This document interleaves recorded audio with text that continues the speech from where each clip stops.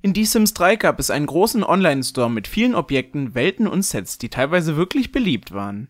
In diesem Video will ich mir die Inhalte aus diesem nochmal genauer ansehen. Viel Spaß beim Ansehen.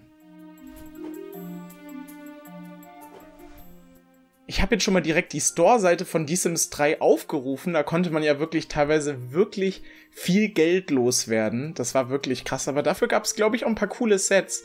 Und wir schauen doch jetzt direkt mal rein. Das ist doch wirklich die klassische Sims 3 Seite, die ich schon 100 Jahre wirklich nicht mehr aufgerufen habe.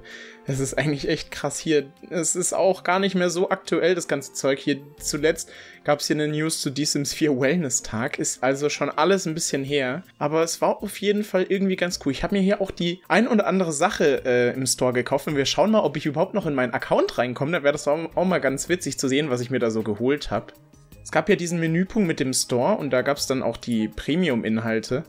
Also, ich weiß nicht, da kamen, glaube ich, monatlich oder so immer neue Sachen raus. Immer so kleinere Packs, die waren alle sehr teuer, aber teilweise auch eigentlich war echt cooles Zeug dabei.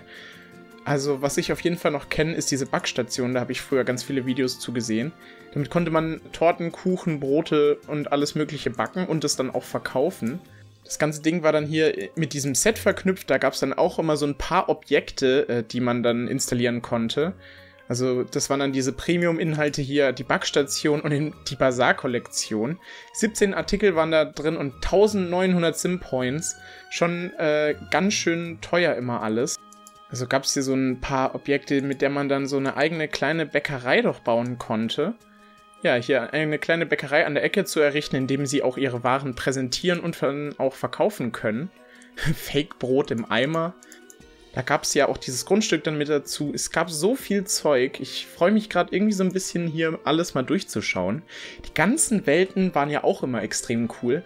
Bei The Sims 3 gab es ja noch die Möglichkeit, die auch selber zu erstellen, aber die, die Store-Welten haben mir auf jeden Fall extrem gut immer gefallen. Ich weiß noch, dass ich mir auf jeden Fall mal Monte Vista gekauft habe. Die in der Welt habe ich ganz viel gespielt, auf jeden Fall. Die war auch wirklich richtig süß. Hier gab es diesen Dorfkern und dann drumherum so einzelne kleine Häuschen, in denen man dann auch spielen konnte. 20 Euro, das ist wäre bei uns jetzt schon ein ganzes Gameplay-Pack. Es gab ja ein paar neue Objekte. Ja, so ein paar Fenster. Irgendwie alles so ein bisschen zufällig gefühlt. Ein paar neue Bäumchen. An sich wunderschöne Welt. Sowas in die Sims 4 wäre auf jeden Fall auch extrem cool. Oh, Dragon Valley hat mich auch immer ziemlich fasziniert, muss ich sagen. Die Welt hatte ich persönlich nie. Also ich glaube, Monte Vista war wirklich die einzige Welt, die ich mir geholt habe. Später hatte ich noch Roaring Heights, daran kann ich mich auch noch erinnern. In der habe ich aber wirklich nicht so viel gespielt, obwohl sie auch ziemlich cool gestaltet war. In Die Sims 3 waren ja auch irgendwie gefühlt die Gebäude ein bisschen schöner gebaut. Das hat mir eigentlich auch immer ganz gut gefallen. Prisma Kunstatelier klingt doch irgendwie auch cool. Ah, damit kam diese Glasbläserei äh, ins Spiel. Zwölf Artikel, auch 1900 Sim-Points.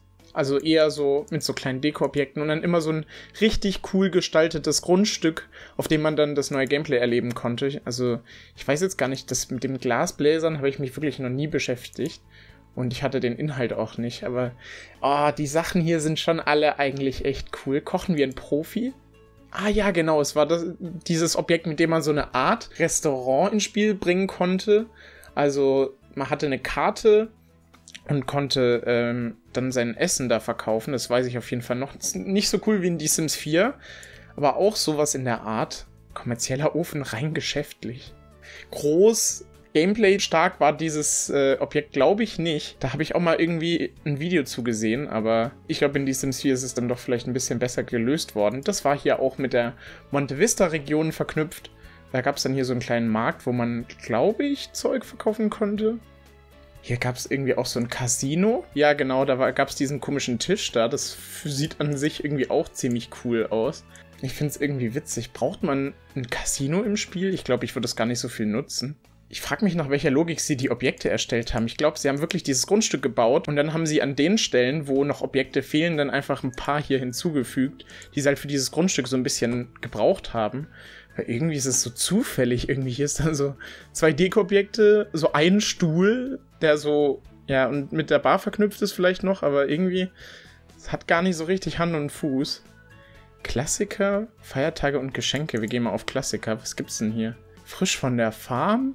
50er-Fantasie, Das kommt jetzt schon so ein bisschen gefühlt an die Accessoire-Packs ran. Oh, ist das kompliziert. Okay, es gibt einmal Schlafzimmer, dann Badezimmer, das zusammengesetzt. Und dann gibt es noch Ess- und Dekosatz. Also irgendwie alles so ein bisschen gefühlt gesplittet. Was ist denn da in so einem Pack drin? 19 Artikel ist jetzt auch nicht so sonderlich viel. Ich muss wirklich zugeben, ich fühle mich gerade so ein bisschen in der Zeit zurückversetzt. Ich weiß noch, wo ich hier wirklich über diese ganze Seite gegangen bin und geschaut habe, was ich mir alles äh, holen wollte. Geräte. Es gab hier nicht diese, diese Fritteuse. Ja, es gab wirklich einfach als Objekt eine Fritteuse, die man sich kaufen konnte. Eine Fritteuse, warum? Also so in einem Pack finde ich das ja mega cool, wenn dann so ein paar neue Objekte dazukommen, die man dann benutzen kann, aber ja, mega. so was sie sich dabei gedacht haben. Hier, der Holzofen ist natürlich cool. Und diesen Grill habe ich mir auch geholt, das weiß ich auch noch. Ich habe mir auch dieses Basketball-Objekt geholt, das schauen wir uns gleich auch nochmal an. Hier, die Eismaschine quasi als Objekt, was man sich einzeln so kaufen konnte. Gab es dann hier auch so im Set, beziehungsweise im Satz, wie auch immer das hier beschrieben wird. 30 Artikel, 1045 Sim-Points. Oh, daran kann ich mich auch noch erinnern, das Wasserrad, was es gab. Beziehungsweise nicht jetzt nur das Wasserrad, das ist jetzt vielleicht nicht ganz so spannend, aber hier dieses zweites Frühstück in der alten Mühle. Mega cooles Grundstück auf jeden Fall. Aber jetzt ist es halt witzig. Dieses Verkaufsargument war ja sogar fast ein bisschen dieses Grundstück, was man sich quasi auch selber bauen könnte. Aber in The Sims 4 würden die Entwickler, glaube ich, niemals auf die Idee kommen, so ein Grundstück in den Vordergrund zu setzen und das quasi für, für Geld zu verkaufen. Ich meine, jetzt in die Sims 4 ist es so ein bisschen andersrum. Jetzt sind die Grundstücke meistens das, worauf man sich im Pack eher nicht so freut. Also so ein paar Sachen wie die Welten, da habe ich, glaube ich, wirklich immer viel drauf geguckt. Wir können ja hier nochmal reinschauen.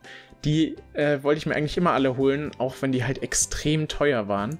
Riverview gab es ja gratis, wenn man sich quasi äh, mit dem Store verbunden hat, konnte man sich gratis runterladen. Wahrscheinlich wollte man mit diesem Move auch ein bisschen einfach den Store pushen, dass die Leute vielleicht mal die Welt sehen, die sie sich runterladen wollen und dann hier noch was zusätzlich kaufen. Okay, ich bin in meinem Account drin. Ich weiß auch nicht so ganz, was ich mir bei dem Namen gedacht habe, aber jetzt schauen wir doch nochmal, was ich mir hier genau gekauft habe. Ich habe jetzt sogar rausgefunden, was ich mir in D-Sims 3 alles äh, gekauft habe. Das waren hier einmal diese kostenlosen Objekte, das war ja nichts Spannendes, aber hier, ich habe immer wieder hier die, die ich anscheinend war ziemlich an Pflanzen interessiert, die ich ziemlich cool fand. Und hier gab es dann, ah, dieses Kochset habe ich mir geholt, den Basketballkorb und dieses, ja, das habe ich vorhin schon erwähnt, diesen Grill auf jeden Fall. Ich glaube doch, da waren ein paar coole Sachen dabei, die ich mir hier geholt habe. Das Tablet. Ja, irgendwie scheinbar war ich wirklich so ein kleiner Pflanzenfanatiker. Und diesen Hängestuhl fand ich extrem cool. Ich hoffe, ich hoffe wirklich sehr, dass es sowas auch nochmal in die Sims 4 gibt. Den habe ich gefühlt wirklich überall an jede Terrasse habe ich den nochmal dran gepappt. Genauso wie, wie diese Glühbirnen hier. Und jetzt habe ich hier immer noch 1000 Sim-Points. Das ist auf jeden Fall interessant. Und das ganze kostenlose Zeug natürlich. Also für Leute, die wirklich ein bisschen Geld über hatten und dann auch äh, hier zuschlagen wollen, die Promenade. Es gab doch wirklich ein paar coole Sets, die man äh, sich holen konnte für die Sims 3. War natürlich auch alles mega teuer, aber war jetzt doch auf jeden Fall schon mal wieder richtig lange her, dass ich mir das das letzte Mal angesehen habe. Ihr könnt mir ja gerne mal in die Kommentare schreiben, ob ihr im D-Sims 3 Store mal zugeschlagen habt. Das würde mich doch auf jeden Fall mal interessieren.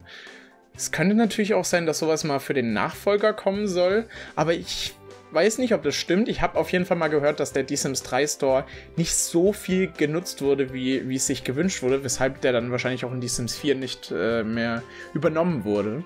War jetzt auf jeden Fall doch ziemlich interessant und auch ein bisschen überraschend. Ich glaube, so ein paar Sachen wären auf jeden Fall äh, schon mal ganz cool noch für die Sims 4. Aber ja, dann würde ich sagen, äh, sieht man sich bei einem der nächsten Videos wieder.